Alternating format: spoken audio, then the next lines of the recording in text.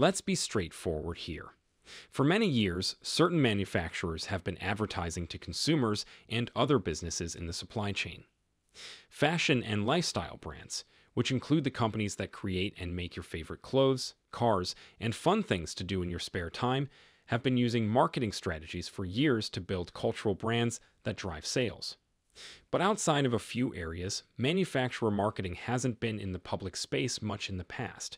Most of the time, it was the sales department's job to find new leads. Manufacturers made goods and services, trained inside and outside sales staff, and sent them out to meet with potential customers directly at trade shows, in offices, and through tightly controlled advertising efforts in industry publications. Even 10 years ago, this kind of partnership with business partners based only on sales worked, but producers no longer don't have to worry about marketing in today's market. Manufacturers tend to buy and sell within small circles of people they already know, says Precision Marketing Group. In the past, it was all about who you knew and who could put you in touch with other people. This can still be true in some ways today. But content marketing, social media, SEO, and other forms of direct marketing change that. They let you grow your business in ways that don't depend on referrals. Let's look at how manufacturers promote their products and how you can do the same. 1. Manufacturing marketing. Marketing to businesses is what B2B marketing is. It can be harder to understand, and the sales process takes longer than with B2C. Other businesses, such as manufacturers in the supply chains downstream, wholesalers, retailers, or businesses that use the services of other businesses, like restaurants or building firms. You should know which business you're going after, the size and type of companies that need or want your products, and who can make buying decisions within those companies. Wants of the customer. Businesses need high quality products that fit their wants and budgets.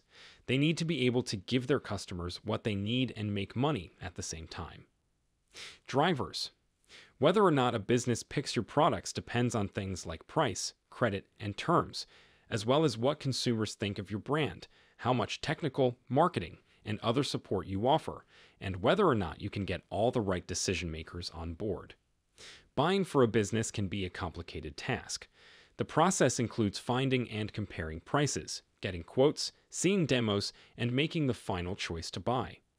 You may have to show your value to more than one level of decision makers. Usually, the bigger the buy, the more levels you have to impress.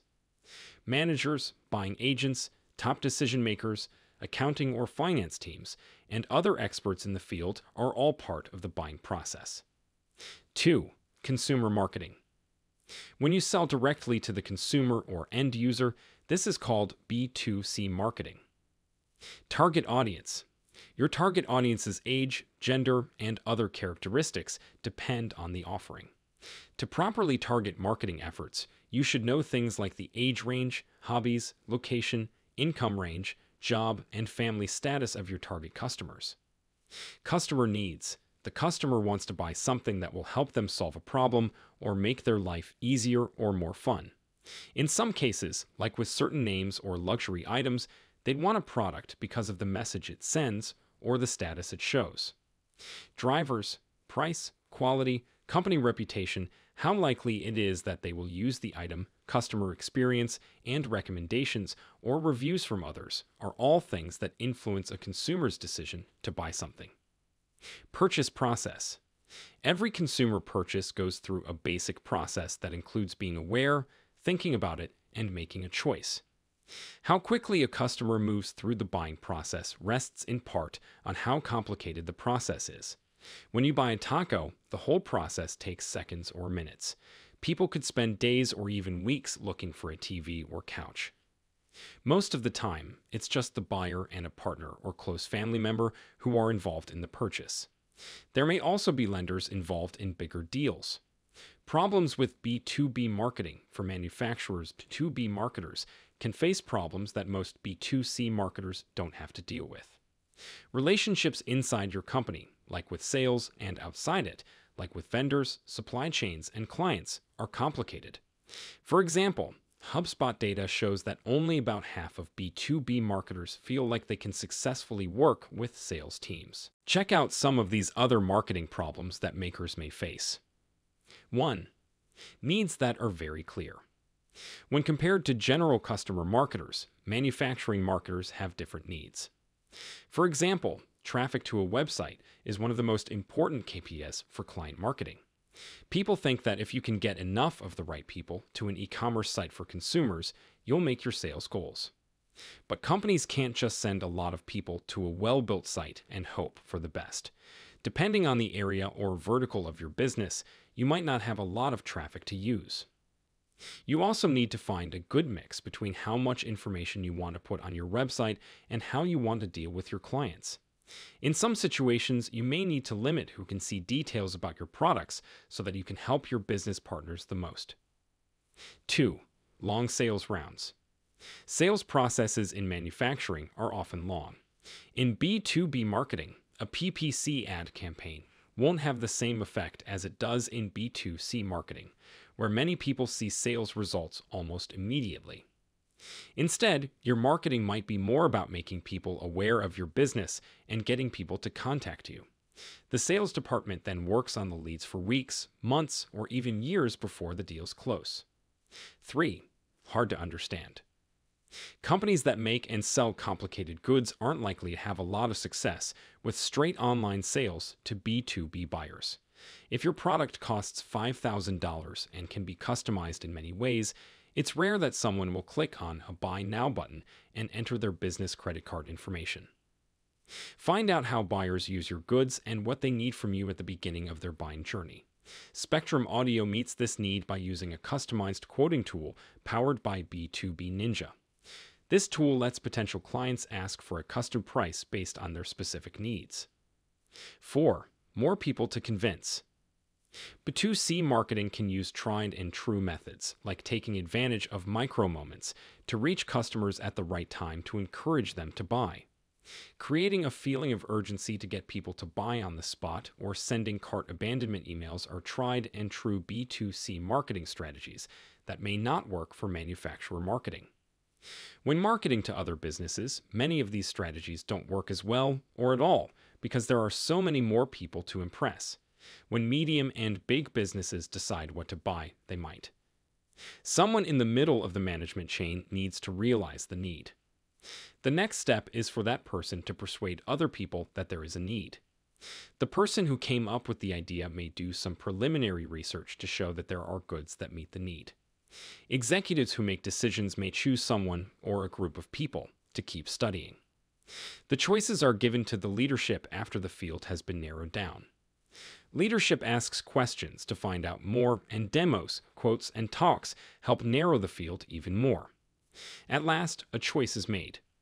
The problem is that your marketing needs to keep helping your chances of making a sale throughout the whole process. Resmin helps businesses all the way through the buying process by giving them a lot of business and educational tools that can help convince stakeholders and get them to buy. Why using marketing with manufacturers is a good idea. According to data given by Chief Marketer, it's hard for B2B marketers to get prospects to interact with them or find good leads. That's where a good plan for marketing comes in. 1. More sales from leads. The 2020 B2B Content Marketing Benchmark Report from the Content Marketing Institute says that nearly 70% of the most successful B2B marketers have a written content marketing plan. Only 16% of the least popular businesses can say the same, which shows how little effort they put into marketing. Other things that successful B2B companies have in common are that they use KPIs to measure the success of their marketing, they keep in touch with prospects, and they put teaching their target audience ahead of selling to them. 2. Awareness of a brand. Online marketing is a tried and true way to make people aware of your brand, which increases customer trust and helps you persuade a lot of different people that your company is the right one to work with. And B2B marketers know how important this is in polls. They always put it at the top of the list. When you put money into social media marketing, good website content, pay per click, PPC ads, and SEO, you are putting money into building your brand. Here are a few ways that money could come back to you. When a business owner sees they need something, you're the first company that comes to mind. When people know about your brand, you're already ahead of the game. Business people from all over the organization know your company's name when they talk about what they need and how to buy it. Again, this puts you ahead of your competitors because buyers, even business buyers, are more likely to buy from a brand they know. People who buy from your client might know your name and ask for your goods. Or if you have a good brand image, your client can use your name in their marketing message, which makes working with you more valuable. 3. Set up your business as a leader in the field. Thought leadership makes you a resource that clients can turn to for expert advice, useful information, or training and education. Content marketing that includes thought leadership is a good idea for any manufacturing company, but it's a must if you sell high end or complicated goods. Case studies and white papers are two common forms of digital marketing that are good for thought leadership because they can be used to get leads. To get a valuable white paper, someone should have to sign up for an account and give their email address. You get leads all of a sudden who are interested enough in what you have to offer that they give you their contact information to learn more. But not all thought leadership has to be behind a fence. Blogs and social media are great places to show how knowledgeable you are in your field by sharing your own content or someone else's content and adding your own opinions. Restaurantware makes and sells supplies for restaurants. Its blog does a great job of building its reputation. That shows potential buyers that Restaurantware and its goods really are the experts in green catering that they say they are. 4. Make customers more loyal. With the right kind of marketing, customers will stick with your business. First, all of the above benefits help your business build a culture of trust. If people believe your name, businesses can do the same. If middle management trusts your business, it's more likely that executives will too. This trust is helped by how well known the brand is. But marketing isn't done when you get a lead and even turn them into a customer. You can increase the chance that a customer will buy from you again by interacting with them on social media, sending well planned and timed email newsletters, and running deals through online marketing. Seven ways to market products made in a factory. Now that you know why it's important to sell manufacturing, how do you do it? Start with these seven marketing ideas for businesses that make things. 1. Put written material out there. You may have heard that content is king. It's a saying that's been around for a long time, and online marketers still find it to be true. Your site's material, or the information you put on it, is the most important part of all of the following. Search engine optimization makes sure that people can find you when they look for you online. Puts you in a place where people can trust you as a producer. About half of people read three to five pieces of a business's material before contacting the business for more information or a quote. It helps move people down the sales process.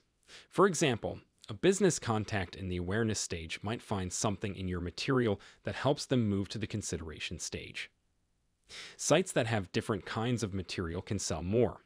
People interact with different kinds of material in different ways. For example, one person might want to read about your product while another wants to watch a video. Sometimes you need to give both to help educate a possible client.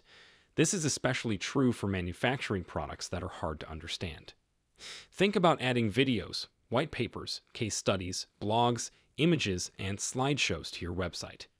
Don't forget that you're not the only one trying to get someone to buy something. Your friend at a business may be trying to convince stakeholders, and they can use your content to make presentations that work. 2. Email marketing. As was said above, marketing for manufacturers is often a long game. It's easy for your message to get lost in the shuffle when possible clients look at their options, change their priorities, and deal with day to day business. With email marketing campaigns, you can get in touch with interested leads and show up in their inboxes from time to time. It makes sure they don't forget about you. Email is also a great way to automate marketing. You can set up drip campaigns to send potential clients a number of messages whenever they do something specific. For instance, a white paper about a piece of kitchen equipment is downloaded. They do this by entering their email. Over a few weeks or months, you send them emails. These emails could tell them how much money the product could save them over time, how the tools improves quality, and whether or not the kitchen operations could be scaled up. Every email gives you a chance to connect with a potential client again and gives you a chance to tell them that you are ready to give them a quote or more information. 3. Invest in SEO. Even Google admits that there are many ways to buy something. But one thing that many people do in the beginning is look online. Nearly 90% of sales start online, and most marketers think SEO is one of the top five ways to get people to your site. If you don't show up in search engines, you're missing out on a lot of possible leads. 4. PPC and Google ads that work. But SEO is not a sure thing.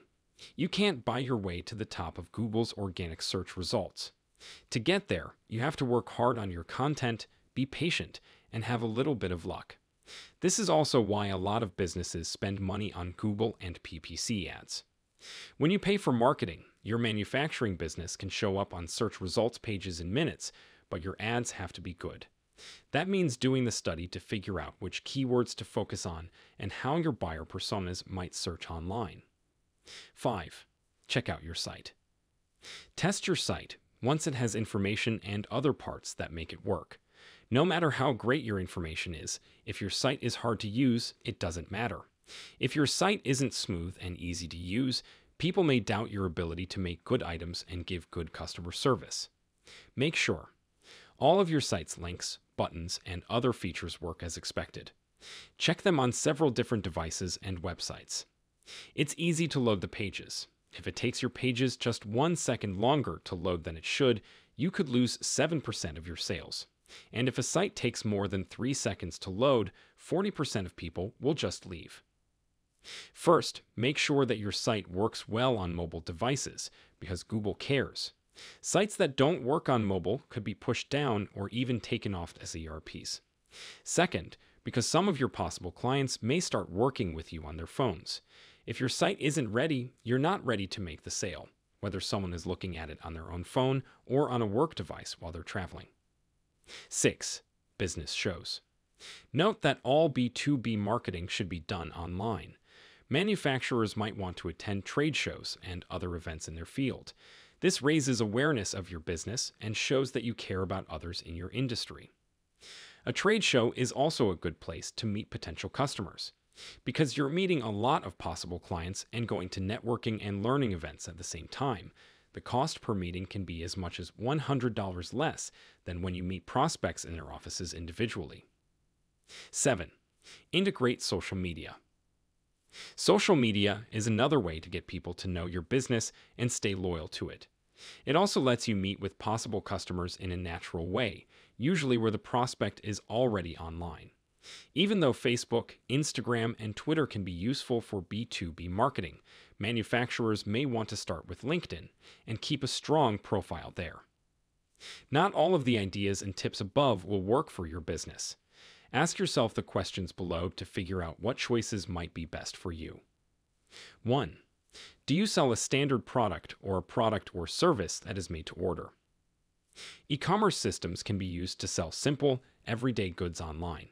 You can promote them with things like product details, pay per click, PPC ads, and blog posts that help with SEO.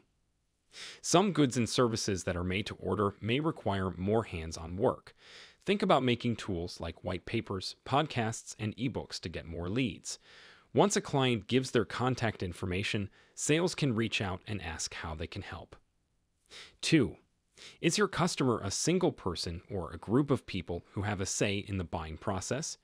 You can connect with a single person through PPC ads, strong CTAs, well written product pages, and interesting social media marketing. To sell to a committee, you'll need detailed marketing materials and a way to handle the lead nurturing process. 3. How much competition do you have in your manufacturing niche? How hard you have to work on SEO and other brand awareness efforts depends on how much noise there is in your business. If this kind of equipment is only made by a few companies, you have a better chance of dominating search with great online material. If you're competing with hundreds of other businesses, you might need to pay for ads to show up ahead of them when people look online. How to use marketing strategies for manufacturing. Marketing is hard, and if your business or goods are hard to understand, it can be hard to know where to start. Start with the steps below if you work in the manufacturing business and want to use good marketing techniques. 1. Make a plan. Know what you want to get done. Metrics are a big part of marketing. Some examples are page traffic, click throughs, and the amount of time spent on a page. If you haven't agreed on specific business goals, it can be easy to get caught up in these marketing goals. Even though click through rates are important, they are only needed because they help you make more sales and convert more people. 2. Make your marketing team bigger. Someone needs to keep track of all this work. You can pay an agency with experience in manufacturing marketing, but it's still a good idea to have someone in house who focuses on digital marketing and holds freelancers or agencies responsible to your business goals. 3. Figure out who your buyer is. Spend some time thinking about who you want to reach. Who would be most likely to buy your products? What do they want? Can they make choices on their own, or do they have to get approval from other people? The more you know about the buyer persona, the better you can focus your marketing, which saves you time and money. 4. Choose strategies that will help your viewers. Make sure that everything you do for marketing and customer service, from social media to website content to shopping cart choices, is geared toward the audience you've chosen. For example, Salinity helps business buyers by using bulk prices. Since the products aren't too complicated, buyers can shop and buy straight online without going through any other touchpoints. They can also save money by buying more at once. 5. Start up and check. Don't think that your content marketing or other activities are the only things you can do. Marketing is about always getting better. Use a slash B testing to see how different parts of your marketing work.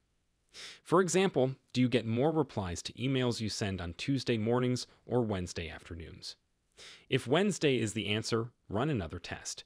Do long topic lines or ones with less than 30 characters get more attention. You can improve the return on investment, ROI, of your marketing by trying it all the time.